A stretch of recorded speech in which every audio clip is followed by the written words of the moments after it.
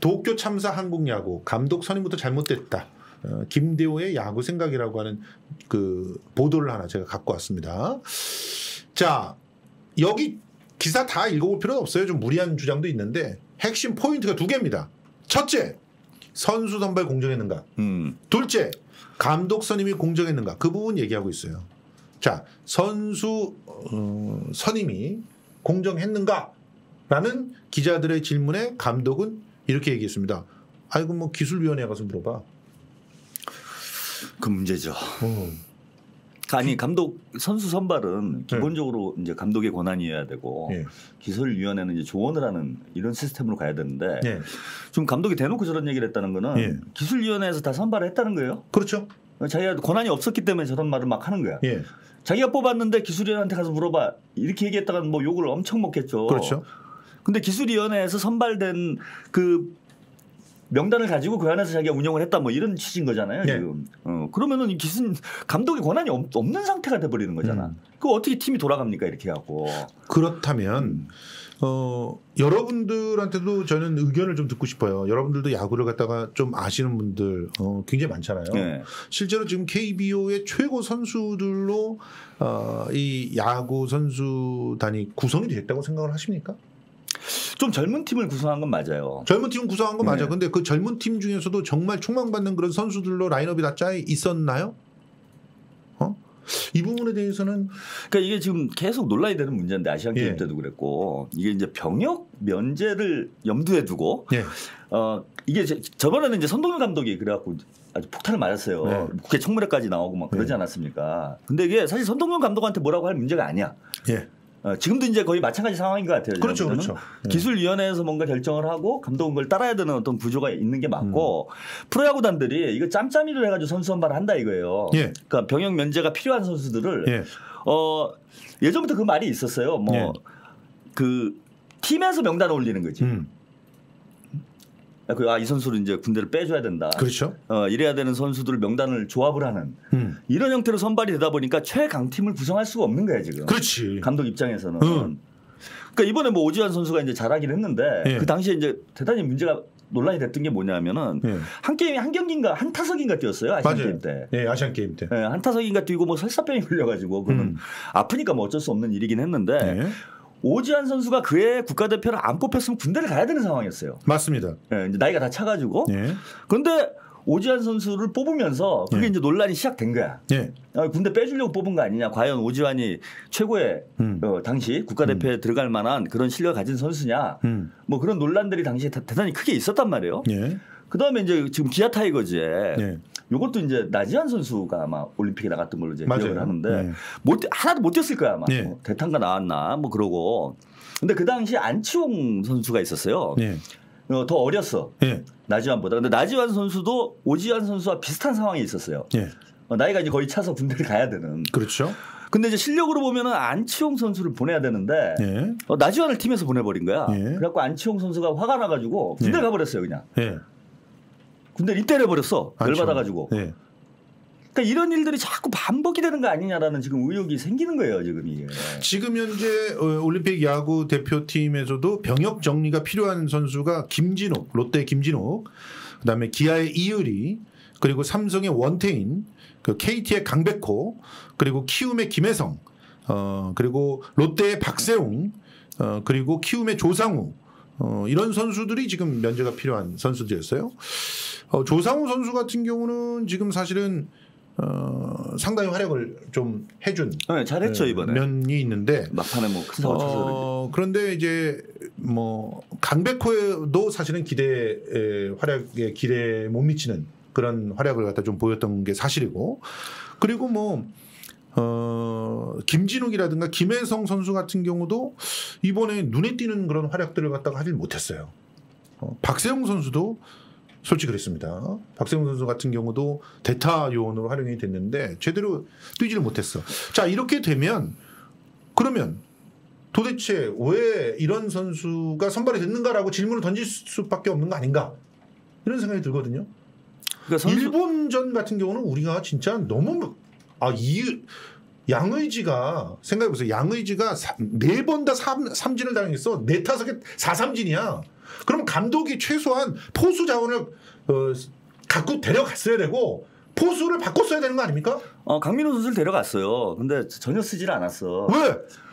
근데 그거는 저는 그거는 이제 뭐 의혹까지는 아니어도 그 김경문 감독의 스타일이 좀 그런 게 있어요. 어 끝까지 이제 뭐 뚝심해하고 음. 이래서 믿는 선수를 계속 믿고 또 이제 양의지 선수가 뭐 최고 포수인 건 맞습니다. 아 그렇죠. 지금 네. 현재 K보에서 최고의 활약을 했었죠. 예. 그리고 언젠간 이제 좀 터지지 않을까 했는데 뭐 끝까지 안 터진 거지 뭐 상황은 이제 그렇게 된 건데. 아니 그 두, 그날 컨디션을 보면 두번 네. 딱 보면 알잖아. 두 타석에서 아니 140km가 넘어가면은 그 그걸 맞추지를 못했어 그날. 그 감독 자체가 뭔가 좀 의욕이 없는 거 아니었나 뭐 이런 생각도 좀 들어요 저는. 아 음. 당연하죠. 지금 이게 무슨 이게 시, 시리즈 시즌 하는 거 아니잖아요. 단기전 그날 그날의 승부를 갖다 해결을 해야 되는데 김경문 감독이 단기 전에 강했던 선 그 감독이었나 이 부분에 대한 질문도 분명히 던질 수 있는 거 아닙니까? 어? 그러니까 감독 선임이라든가 선수의 선임. 그래서 실제로 경기에서 고우석이 발 뒷발로 이거 뒷발 잡, 발 잡지 못했을 때 그때 사실은 단기전에 강한 감독이라면 바꿔줬어야 돼 투수를. 그날 바꿨어요. 그때 바꿨어야 돼. 그때 바꿨어야 된다고. 그 장면에서 대단히 열받았는데 예. 좀 정상적이지 않은 그 운영을 했다 이거예요 경기도. 예. 그러니까 어떻게 한일전에 그럴 수가 있냐고. 어? 저는 놀라운 게 아, 무조건 이겨야 되잖아 한일전은. 당연하지. 오승환 선수가 불펜에서 대기도 안 하더라고. 대기도 안 했어. 그 너무 이해가 안 되는 상황인 거지 8회였는데. 예. 왜 그런 한일전은. 가위바위보도 지면 안 된다라고 하는 말에 난 전적으로 동감입니다. 어? 그러면 상대적으로 제가 오늘 칭찬하려고 하는 팀이 배구팀이에요. 배구팀 한일전에서 어떻게 했습니까? 어? 다른 건다 져도 한일전은 질 수 없다. 정말 투혼을 보여줬어요. 아니 이거 정신력으로 만들어낸 기적입니다. 우리 배구 여자 배구 팀이 4강에 올라갈 거라고 아무도 예상 안 했거든요. 금피소님 감사합니다. 8강도 힘들 거다 이렇게 봤는데 예? 아 생각을 해보세요. 김연경 선수가 일본전에서 그 일, 일본 주심이 오심을 계속하지 않습니까? 그 의도된 오심 아니었습니까? 그럴 때 경고받으면서까지 들이받잖아요. 네. 어? 그런 어떤 투혼을 보여준 거죠. 투지를. 그러니까 선수들이 야 이거 진짜 식빵원이 화났다. 식빵원이 화났다. 우리 이- 이겨야 된다 이거. 이러면서 똘똘 뭉치지 않습니까? 어? 그러니까 이번에 그 쌍둥이 배구 선수 문제가 예. 됐던 그 선수들을 빼고 나서 음. 우리나라 전력이 사실은 상당히 약화됐어요. 그럼요. 두 달 전에 있었던 네이션스 리그에서 15 위. 15인가 했어요. 그러니까 16개 팀 중에 15위 했어요. 완전 바닥 친 거죠. 예. 그리고 아 제가 봐도 그때 경기를 봤는데 아 이건 뭐 올림픽 도저히 안 되겠다. 너무 음. 선수들이 이제 경험이 뭐 없고 음. 이제 다 만들어가는 팀이겠구나 이렇게 생각을. 뭐 별로 기대를 안 하고 봤어요. 예. 근데 저는 김연경 선수가 정말 대단하다는 게 리더십이 두달 두 달 만에 그 팀을 원 팀으로 만들어낸 거야. 맞아.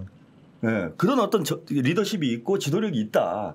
그게 이번에 어마어마한 일로 만 변화가 된 거 아닙니까? 그렇죠. 그리고 9년 전에 팀이 사실은 여자 배구 팀에서 드림 팀이라 그랬어요. 그래서 아, 그렇죠. 그때 동메달인가 땄었잖아요. 4강에 들어갔어요. 아, 4강까지 들어갔었구나. 동메달 못 땄어. 뭐 메달은 못 땄어요. 어, 우리가 동메달 딴 건 이미나 이미 70년대, 80년대 요때 요때 동메달 딴 거고 그때 4강에 들어갔는데 그 팀보다 낫다고 김연경 선수가 얘기할 때 아 이거는 후배들 동료해 주려고 하는 어, 뭐 거다 그런- 그렇게 생각을 했었어. 음.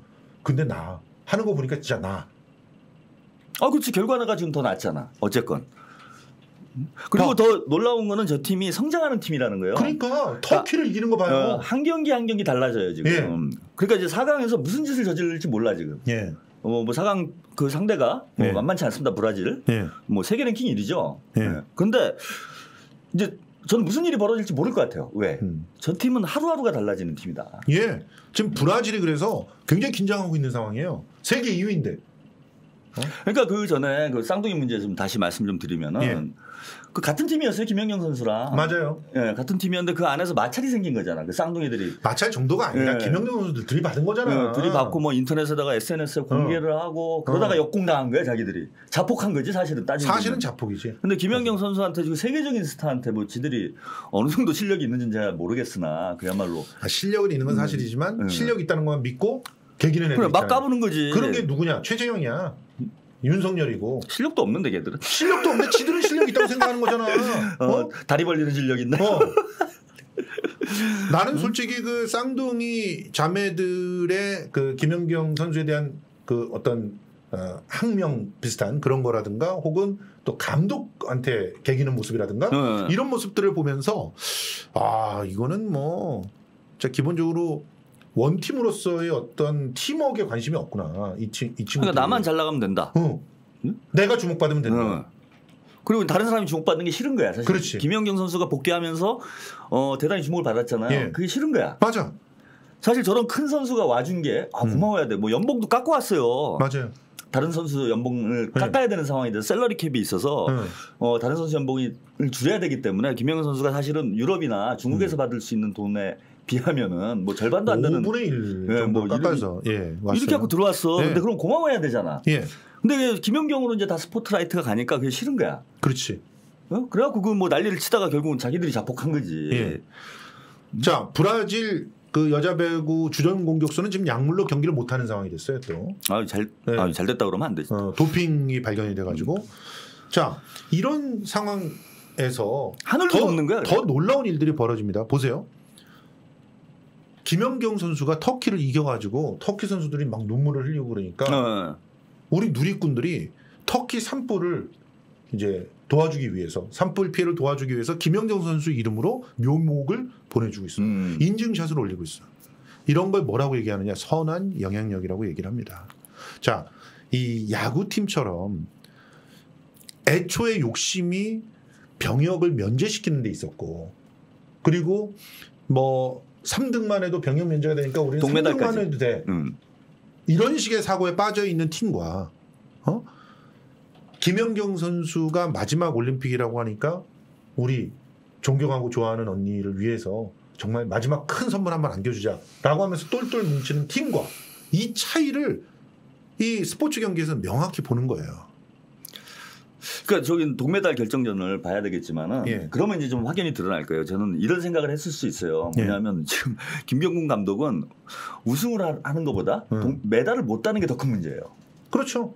그러니까 메달 못 따면 큰일 나는 거야. 예. 애들, 이제 병역 문제나 이런 게 다 걸려 있기 때문에 예. 그건 진짜 역적되는 거예요. 예.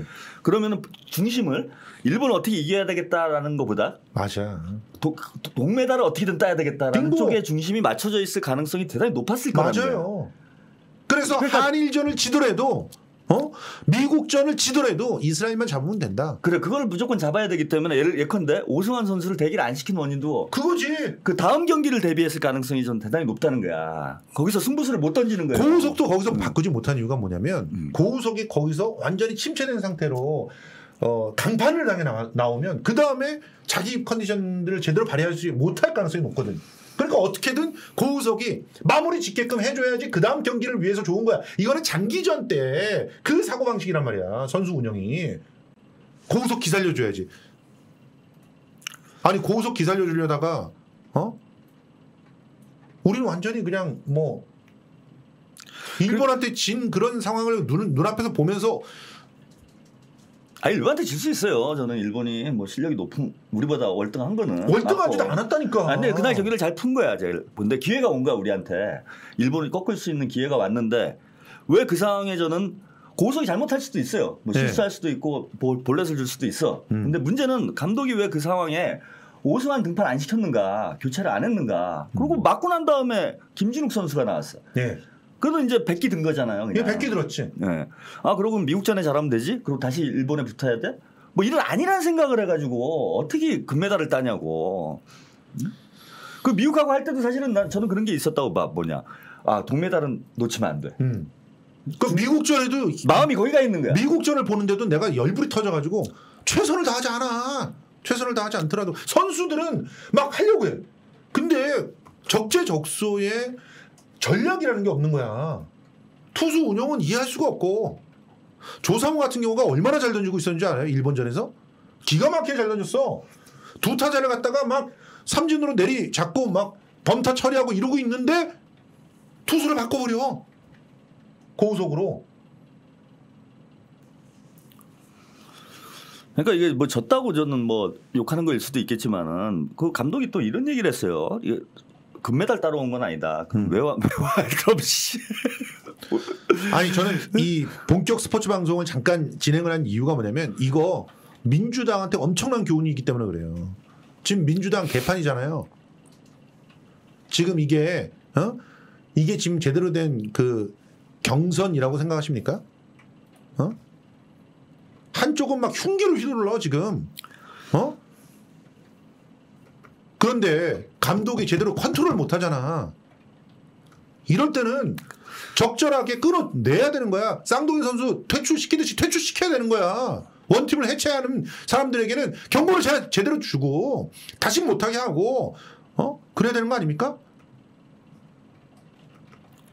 아니 지금 전 저거는 감독의 문제라기보다는 심판이에요 심판. 심판이 여기 막 반칙이 난무하고 음. 축구장에서 막 뭐 주먹 다짐하고 네. 막 그러고 있는데 그냥 놔두는 거야. 그러니까. 관관.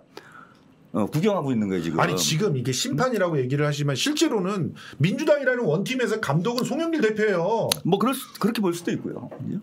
감독이 될 때 처음에 뭐라 그랬어? 어? 저 본선에서 이기는 게 중요하다 그랬잖아. 아 그게 무엇보다 근데 중요한 경선에서. 이렇게 개싸움하게 만들 거냐고 계속. 토론 룰 이따위로 계속 갈 거야? 진짜? 정책을 충분히 설명할 수 있는 시간 자체가 없잖아. 어? 제 생각에는 민주당 지금 경선 이렇게 놔두면은 예. 진짜 대한민국 대표팀 꼴 납니다. 맞아요. 금메달 따 나중에 가서 이제 그 소리에 어. 뭐 대선에서 이기려고 한 거 아니었다. 그 뭐야 왜 나와 대선에? 씨. 응? 대통령 되려고 나온 건 아니었다. 뭐 이런 소리 할까? 그때 가갖고 솔직히 대선에서 이기는 유일한 방법은 확실한 리더, 제대로 된 리더 딱 세우고 그 리더 안에 그건 감독이 아닐 수도 있어요. 김연경 같은 리더 안에 그냥 일사불란하게 움직일 수 있게끔 해주는 거야. 지금 뭐 하고 있는 거냐고. 애초에 여섯 명을 갖다가 할 때부터 좀 불길하다고 생각했어. 여섯 명을 동시에 토론시켜갖고 그 사람들의 주장들을 어떻게 두 시간 안에 제대로 듣냐고요. 네 명만 돼도 힘들어 죽겠는데. 어? 사실 한 지난 대선처럼 한 세 명 정도로 그렇지. 됐어야 돼요. 근데 여섯 명이나 나와가지고 한 마디씩 떠들어대고 그게 또또큰 문제는 뭐냐면은 지금 박용진 말도 안 되고 그냥 네. 질질 싸고 앉았고 지금. 거의 뭐 네 명이 한 팀이야. 문제는. 그렇지. 4대 뭐 2로 싸우는 거야 4대 저는 2. 짜고 나온 거 아닌가 싶을 정도예요. 지금 네. 이렇게 하는 건. 그러니까 네가티브, 그러니까 시간을 뺏어 먹는 거예요. 예. 뭐 60분을 예를 들면 토론을 하는데 예. 네 명이 한 팀이면 얘는 40분인 거야. 어.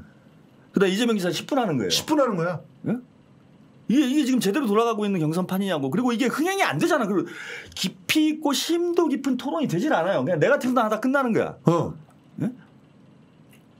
그 민주당을 뭐라고 보겠어요, 국민들이. 응?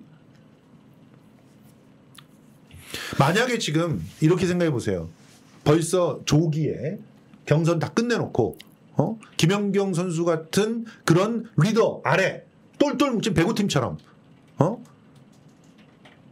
한 후보 아래 딱 뭉쳐가지고 민주당에서도 그 후보 정책을 전격적으로 밀어주고 그 후보가 어, 내놓는 정책을 뒷받침할 수 있는 입법을 갖다 밀어붙이고 그러면서 막 파고 들어봐.